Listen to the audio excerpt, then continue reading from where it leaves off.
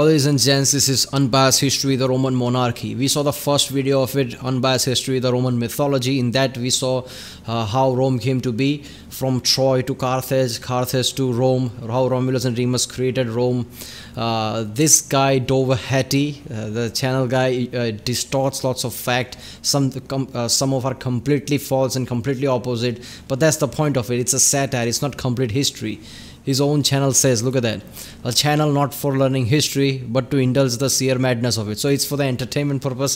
So it's just awesome the way he puts together thing. He talks a bit fast but then i learned that only first two three or videos are like that. Then he starts to make it slow paced so he talks too fast. That's kind of hard to comprehend sometimes but it's all, all over his quality of videos the way he creates uh, his sound the way he narrates is just great this is make of you know this looks like he's gonna be really big in the future.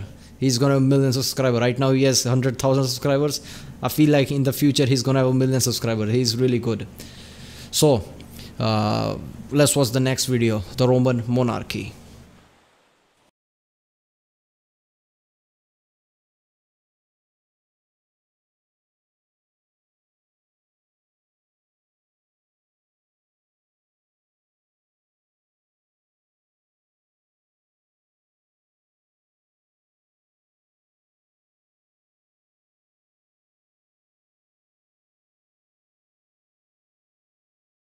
On the 14th of April, 753 BC, the dream of Rome first took form. After a lifetime of injustices, Romulus now stood as the last of his people, and Rome's first king. His priority was to create institutions from which the city could thrive. The monarchy would be assisted by the Roman Senate, assembled by all Trojan-descended Romans, now senators, set to guide and elect the kings of the city. Romulus pondered heavily on how he could make Rome better to live in than Troy, only to realize he had already done it, there being no woman in the city and all, for the gods invented woman to test the infinite patience of the Trojans. But the Romans were seemingly freed of that burden. Instantly, the news of paradise on earth spread through Italy. The previous kings from Alba Longa had put much effort into partially civilizing some of the local barbarians, and when those heard of the news, they immigrated by the thousands. Romulus was at first unsure what to do about them, especially how they brought their wives with them. His best friend, Hostus Hostilius, advised having them all killed. It was good advice, but he had another solution in mind. He divided the populations into two classes, the patricians, the original fathers of the nation, and the plebs, the masses made to work the farms, serve as fodder infantry, and the most feminine ones as Roman sex slaves. As for the woman, they served as breeding cows to ensure the future generations. The true bisexual heaven. It was Damn. Rome's first golden age. Things were going so well, Romulus threw a massive party, inviting all his partially civilized neighbors to show them the greatness of Rome. Among them the Sabines. The party was going well, until some Sabine woman glanced at Romulus and his patrician friends. Seeing such sexy men so happy as bachelors, they couldn't help but urge to ruin them. The plan was hatched. They conspired to get all the men drunk, then drag the Romans out, rape them while unconscious, got all pregnant, then woke up their Sabine husbands, saying they had been kidnapped, only to wake up the Romans, ordering them to defend the mothers of their future children. The Roman Okay, I don't know this history, but I'm 100% sure this is completely opposite of what actually happened. I'm pretty sure the uh, these Romans uh, kidnapped these women and raped them. I'm pretty sure that's what the history says. There is no way that happened. So this is completely opposite. This is going to be hard for me to understand lots of part of this because since I don't know Roman history that much, watching this is going to be hard because lots of it is completely opposite. It's it's for satire purposes, but still it's going to be hard to know what is true and what is not. Bound by honor, crushed the Sabines in battle, but granted them mercy, even integrating them as citizens, despite the Sabine woman's cry for more blood. They were now their in-laws after all. Barbarian woman, everybody. No evil greater than that. Even so, Romulus only lamented having lost his best friend Hostus in the battle. Seeking a resolution, Romulus allowed the Sabine king to co-rule the city with him, but thankfully the fool died in a stupid ritual or whatever. But he wasn't the only one whose days were numbered. After decades of rule, Romulus had grown wary. There's only so much injustice, tragedy, and malevolence a man can take. One day, while inspecting his soldiers, a huge storm emerged, taking Romulus with it, ascending him to live with the gods as a reward for his great deeds. Romulus's legacy in Rome was vast, but perhaps his greatest contribution was the teaching of no matter how shit, painful, and maddening things get, never give up on your duty. A philosophy that served the Romans well when dealing with their wives. I'm just kidding, it didn't help at all. In this spirit, we enter the post-Romulus kings, six in total, only I'm just kidding, it didn't help at all. In this Blast of Fortuna on screen. Reminisce on the woman free era. Explain why plebs have to exist. Get to the golden age. Romulus party. Parties ruined by women. Tell of the rape by the Sabine wo- women. Bring the sweet release of death to Romulus. to do list. Okay.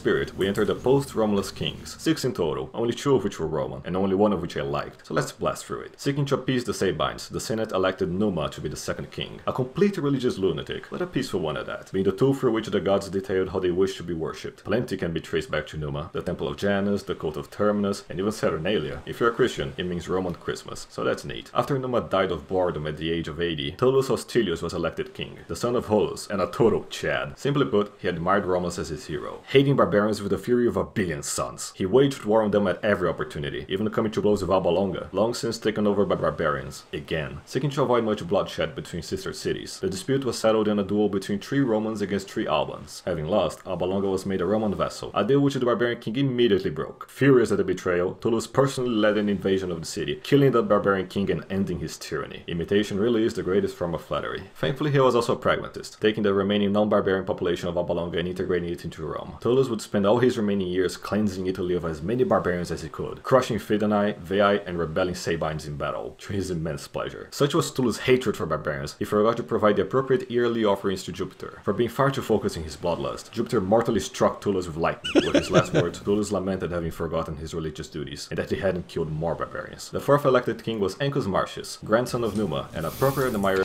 the way he writes the dialogues, it feels like this. all this, the, the way he writes it, feels like this is Family Guy episode of you know Rome history. Fuck off. Jupiter is like.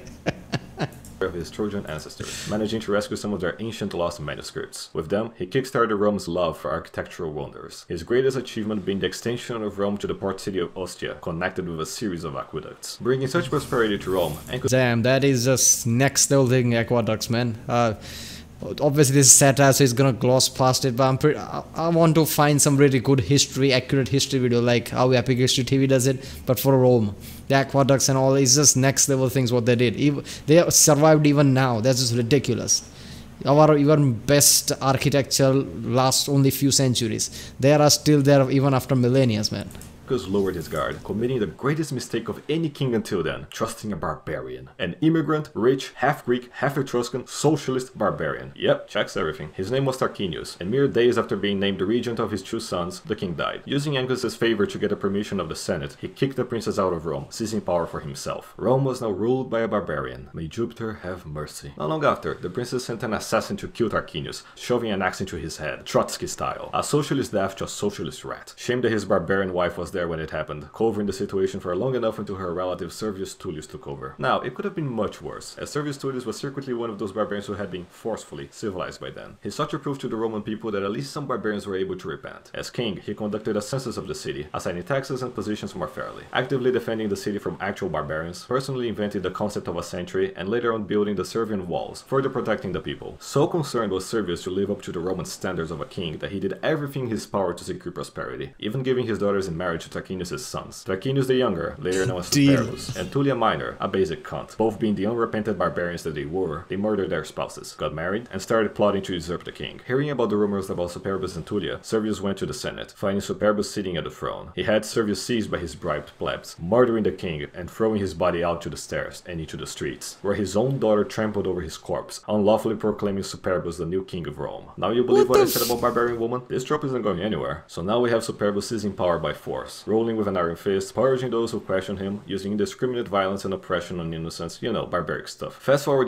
few years, and Superbus used Rome's strength to claim leadership of the Barbarian Latin League, using their combined armies in a campaign against other barbarians, in an effort to make Romans forget that he is one himself. After endless battles for no good goal, the Romans were just sick of it all. Three generations of barbarian rule will do that for you. Yeah, Servius was okay, I know, but the people yearned for true Romans to retake power. In their infinite patience, the patricians played along. Until this happened. This creature is Sextus, Superbus' son. Not only was he an inso, good for nothing, fat, ugly barbarian retard, but he had this autistic wish to revenge his barbarian ancestors from when their princess was kidnapped by the vile Trojan prince. Yet another barbarian lie that has persisted through the ages. Go watch Troy if you want more indoctrination. For his revenge, he chose to target the most beautiful, intelligent, and virtuous patrician woman of all. Luckily for him, he managed to eavesdrop on his cousin Collatinus while discussing who the best woman of Rome was, learning of his patrician wife, Lucretia. And the thing with Lucretia was that she was able to transcend her female material limitations in such a way as to employ all the virtues her Roman ancestors fought for, yet remaining the height of feminine beauty. Convinced of his target, Sextus sneaked into Collatinus' tent, finding Lucretia doing her womanly chores. At first he tried to seduce her, which failed, then he tried rape, which also failed, then personal threats, another failure. Lucretia was at least 10,000 leagues above Sextus in every way. Nothing could break her Roman spirit. But then it clicked. After thousands of years of Darwinian evolution, the barbarians had finally adapted to their civilized rivals, figuring out the best way to hurt a Roman is to target the people closest to them. In her case, he threatened to tell everyone that she had betrayed Collatinus with a slave. Lucretia couldn't let his husband be humiliated like that. With no other choice, she conceded. The crimes committed on that tent compare only to the rape of Troy itself. I can't draw what happened for legal reasons, so let your imagination run wild. Damn. The day after the act, Lucretia was a broken shadow of her former self, but Oh, only on the outside. Deep down, her fiery virtues still raged with a thirst for justice. Dressed in all black, she got in front of a crowd of her fellow Romans, giving the speech of her life about how Sextus had defiled her, ousting the unspeakable horrors she had suffered. As a final sacrifice, she sudokued herself for all to see, calling for the sons and daughters of Rome to rise and save their city, as she dropped dead to everyone's horror. The death of Rome's greatest woman enraged both patricians and plebs alike. United in revolt against the monarchy, they were led by what became known as the Zeroth Triumvirate. Collatinus, Lucretia's husband, Publius, a famous patrician, and none other than Lucius Brutus himself, then captain of the guard. Brutus personally led the revolt to the Senate, dragging the vile Sextus to the feet of the senators, telling them of the rape of Lucretia, the indignation of the people, and how the monarchy had been destroyed by barbarians. After years of concealed disgust, the senators unanimously agreed, proclaiming the end of the monarchy and the death penalty for the barbarian royal family. Now lacking a governing system, Brutus and the senators wisely agreed Romulus's wishes would be best fulfilled if Rome were to be led by meritocratic selection of patricians. And so the Roman Republic was born, the first and best democratic institution in history, led by the first two elected consuls, Brutus and Collatinus. Once news of the revolt reached Superbus, his army instantly defected, marching back home to join the Republic. Desperate to retain power, Superbus sent spies to Rome, disguised as ambassadors. They approached the senators, trying to bribe them for support, but the patricians denied their advances, reporting them immediately for bribery. Some barbarians say Brutus' own sons accepted the bribes,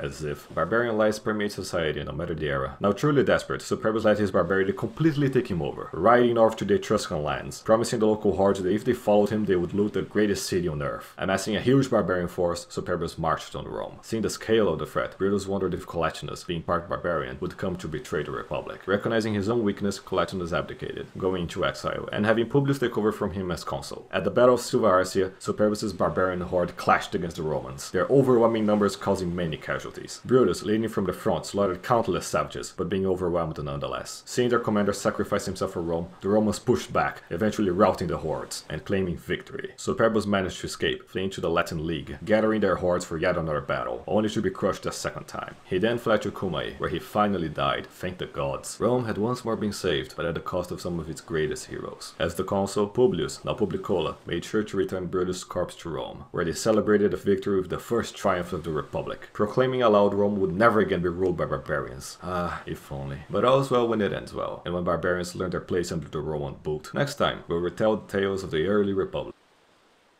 Holy sh- he talks way too fast. Lots of things just glossed over, but I get the gist of it.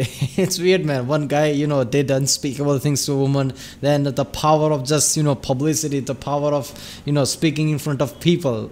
She just went in front of people and said, "Oh, that this is what happened to me," and then killed herself. That caused the republic. That caused the overthrow of monarchy. That's heavy, man uh, it- when you when you are told that one woman was enough one insignificant woman was enough to you know throw an entire monarchy of the past just because she went in front of public and said what happened to her that's unheard of so that is that is heavy thing to see man so now the Roman Republic is the next video. I hope he stopped speaking this fast, man. Lots of things just glossed over me.